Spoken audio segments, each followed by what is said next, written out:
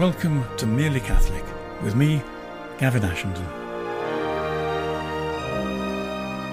The Catholic Herald is launching our renewed podcast in Holy Week, and as Catholics prepare to accompany our Lord on his journey to the cross, we have an interview with Father Patrick Pullicino.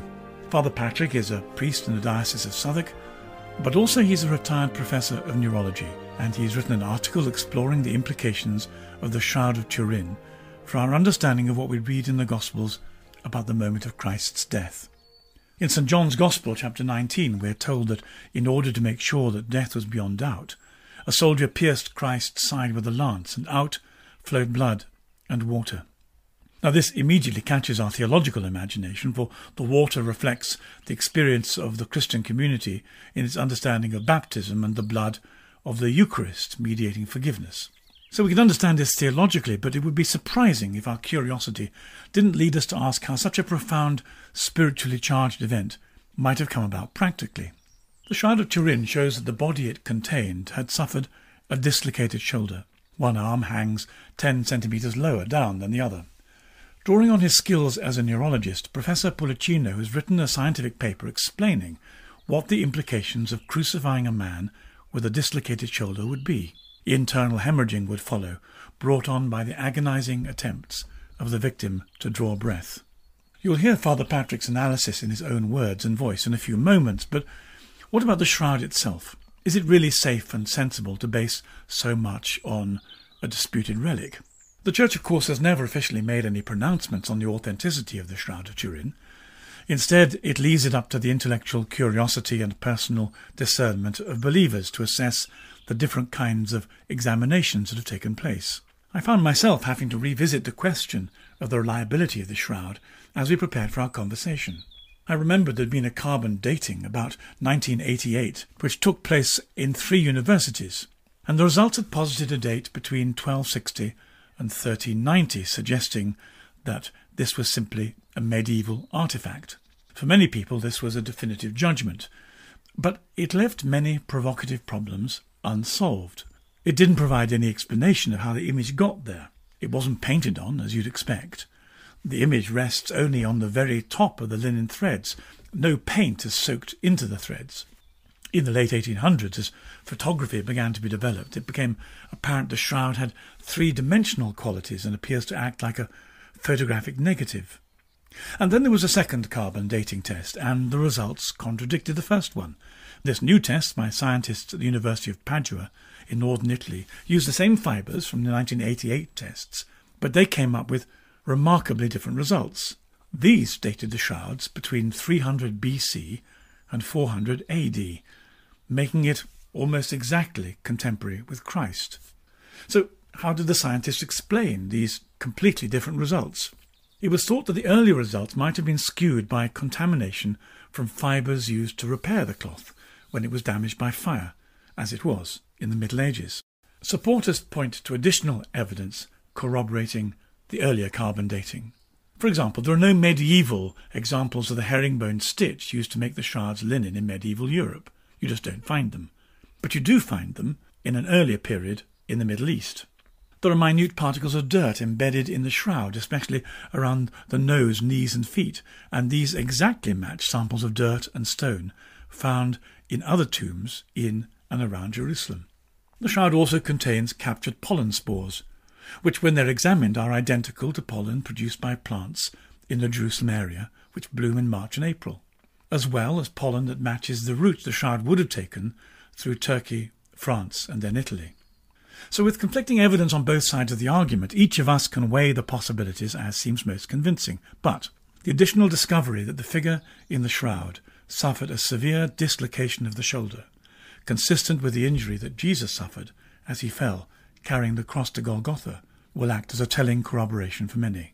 Beyond the intellectual task of assessing what the shroud is and where it came from, comes the spiritual implication of the suffering that it represents to us if it's authentic. For the Christian, that suffering is a testimony to the depth of God's love for us in embracing our humanity and being willing to become a sacrificial victim to win our forgiveness and the invitation that so many followers of Jesus have experienced to share in his suffering and allow our gratitude to be deepened. And so we come to our conversation with Father Patrick. I want to welcome our guest today, Father Patrick Pullicino. Father Patrick is a scientist. He worked as a professor of neurology, and he's written a fascinating article for the Catholic Medical Quarterly to do with a tension hemothorax being posited as a cause of Christ's effusion of blood. But one of the reasons we're coming to this today is because we're approaching Easter, and all Catholics are contemplating the cross, contemplating the death of Christ, and contemplating his resurrection. And in our culture, there's been this great separation between fact and value, between science and faith. Father Patrick brings to this whole issue a level of medical expertise. So, Father Patrick, welcome. Thank you very much for coming and joining us on this podcast. Thank you very much. Can I ask you, first of all, to tell us a little bit about yourself? There can't be very many secular priests who have earned their livings as a professor of neurology.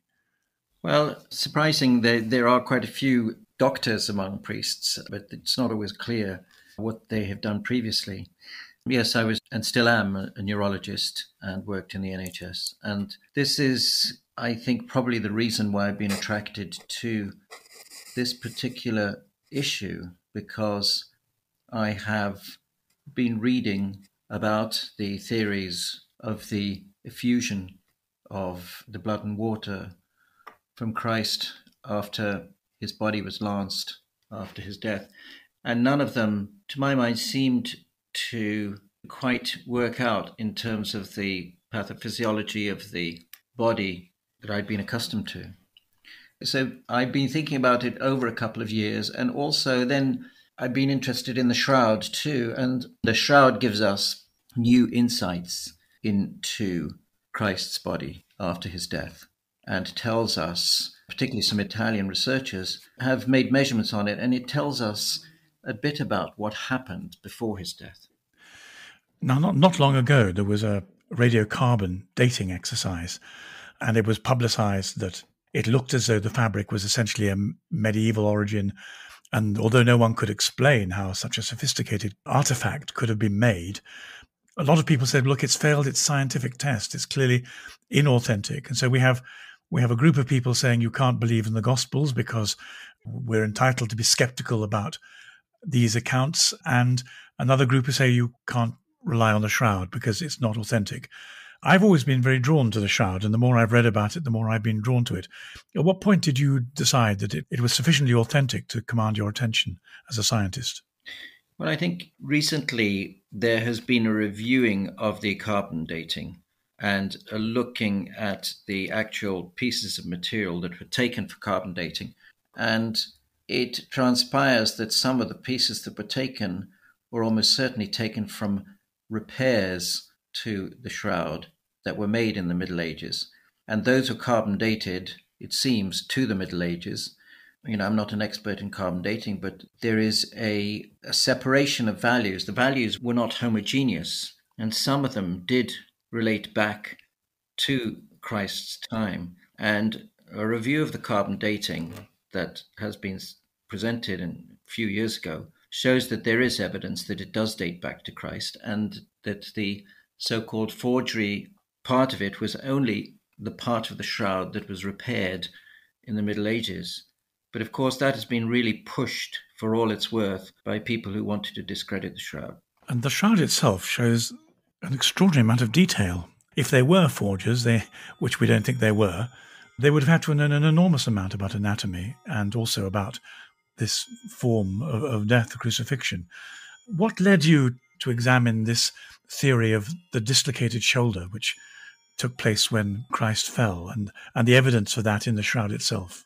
Yes, the shoulder wound seems to be key in my mind to this effusion of blood and water. And part of it was reading about the shoulder wound of Christ when I was in seminary, and also finding out that Padre Pio was a great believer in the shroud and also had a shoulder wound or, or pain in his shoulder. And so I reasoned that if there was a profound shoulder wound, as is suggested in the prayer of St. Bernard, that it could be seen on the shroud. But if you look at the shroud, it shows the shoulders quite reasonably, and there's no evidence of a deep wound on either side. I mean, you can see the you can see the wound of the lance, but you cannot see anything deep in the shoulder.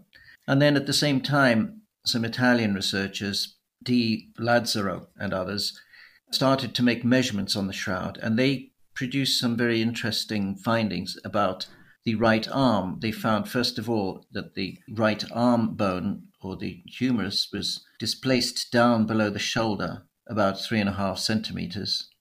Then, if you look at the lowest extent of the arms, the right arm fingertips come right up to the lateral border of the left thigh, whereas the left arm fingertips are about 10 centimeters further in. So there's a clear discrepancy in the lowest extent of the arms. And Di Lazzaro put this together with other findings on the upper back, showing that almost certainly bruises from where the cross was carried. They showed that the, there are abrasions on both shoulders, not just one. So the cross was carried on both sides. And not only that, on the left side, the abrasions are lower down, so he was in more of a stooped posture. And all this is revealed on the shroud. So we have a shoulder wound, we have the cross transferred to the left side. Then, further inferences they make from this was that he must have had a severe dislocation of the right shoulder. And this was the shoulder wound. And accompanying that dislocation, they say the right arm became useless. And that is why they had to transfer the, the cross to the left shoulder. And they postulate that it was a brachial plexus avulsion that occurred, that it was such a severe dislocation, and that the cross hit him on the back of the neck and tore all the nerves to the right arm.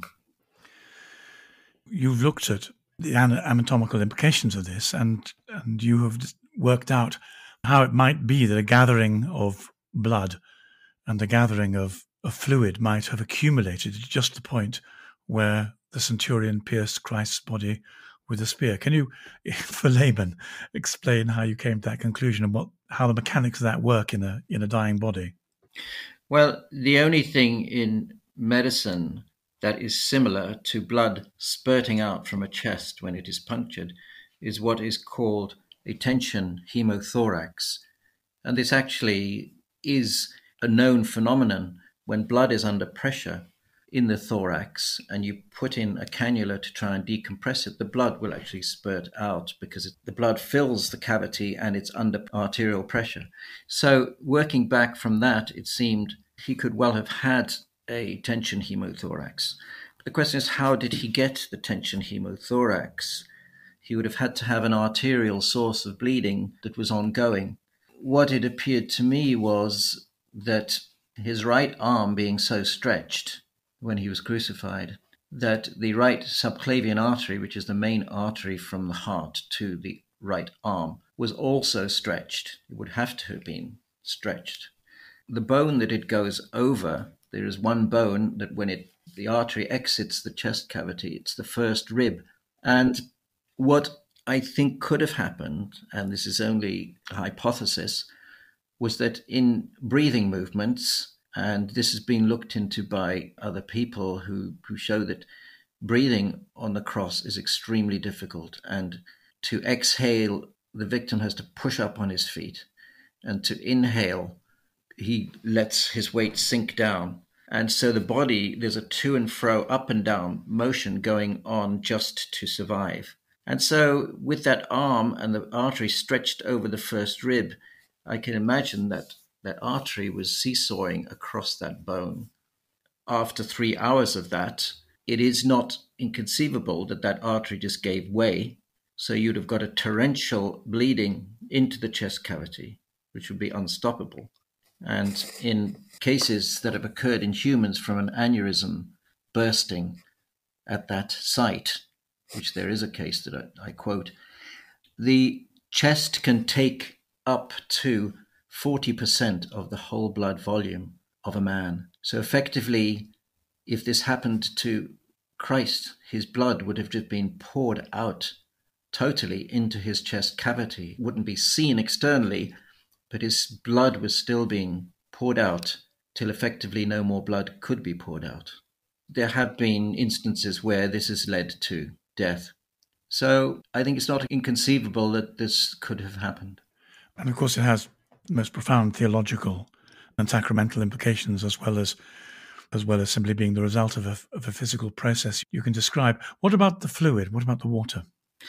Well, the water is slightly more conjectural, but I did some research into individuals that have had severe brachial plexus lesions, and what actually happens then is the the nerves in the neck are actually surrounded by a sheath of cerebrospinal fluid, and after the blood volume, the biggest volume we have of fluid in the body is the cerebrospinal fluid. It's about 175 mils of fluid over the brain and down the spinal cord, and it's crystal clear like water and 99% water.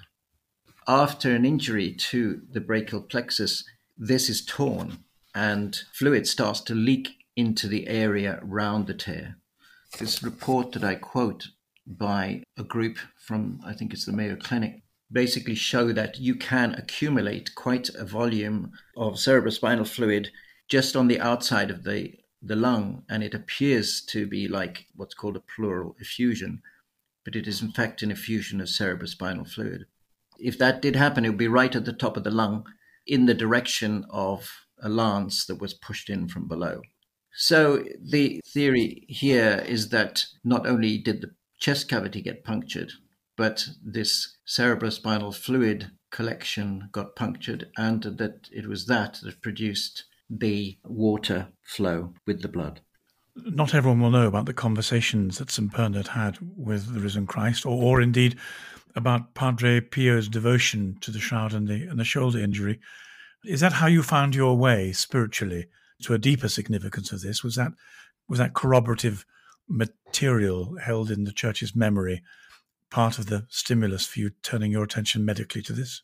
Yes, definitely. St. Bernard, for those that don't know about it, St. Bernard used to have visions of our Lord, and he once asked him what was the most painful wound of the Passion that people did not know about. He records Christ's Jesus' answer saying that the, he had a shoulder wound that people were not aware of, but it caused him the most suffering. So it was a very painful wound. And he, he also went on to say that anybody who honored this wound would have all their venial sins and all mortal sins taken away. So it has a lot of spiritual power, the shoulder wound.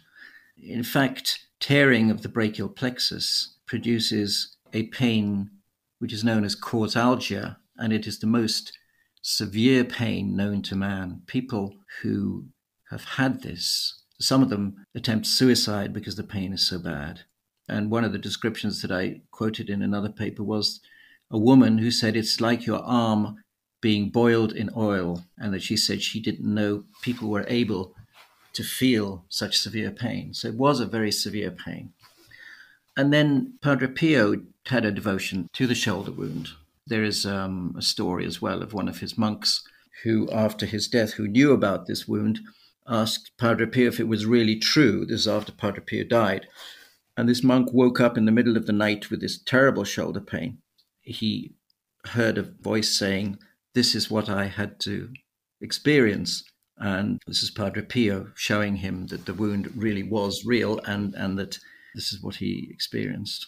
It's, it's quite difficult moving from the very gruesome details of, of human suffering and the broken body on the cross to the furniture of our spiritual life. But as a as a baptized Christian and as a priest, and as you come to prepare for Good Friday yourself, what does this insight, this medical insight, the mechanics, the the affirmation of the facts, how do they affect you and your your prayer life and your devotion as you prepare for this great festival? Well, I think there's a couple of ways. First of all, our Lord has always insisted that his blood was poured out on the cross. And we've used this figuratively. But if this is true, his blood was actually literally poured out till as far as it could go. Uh, so it does connect us more closely with, with the pouring out of his blood. Secondly, the issue about the right arm being rendered ineffectual, I think also has some spiritual ramifications because the right arm is the right arm of God, is the, is the arm of his power. And it is the arm that Jesus used to cure with, that he used to touch people with. So, really, losing his right arm power was probably as bad an injury spiritually as could have been made on him because his whole ability to, to heal had now gone from his arm point of view. So I think that's another thing that, that makes this a very profound injury. And also that from what our Lord said, there is great hidden spiritual power for those who wish to honor this wound and for those who wish to honor him for bearing this wound. And I think very little has been done about that. I think this is now 2,000 years after the Passion and after this terrible wound was inflicted, and it was the most painful wound. And I think the time has come really to give honor to our Lord for this and to set up prayers, even groups who would pray. I mean, there, there are other parts of the Passion that have even engendered the setting up of, of orders. I think the shoulder wound really needs to be brought out, and we somehow need to give our Lord his true due for bearing this, this terrible spiritual and painful wound. Professor Pullicino, Father Patrick, thank you very much for joining us on this Catholic Herald podcast. Thank you for what you've done to help us honour the wound and prepare for this great festival of love and praise. Bless you and thank you very much. Thank you.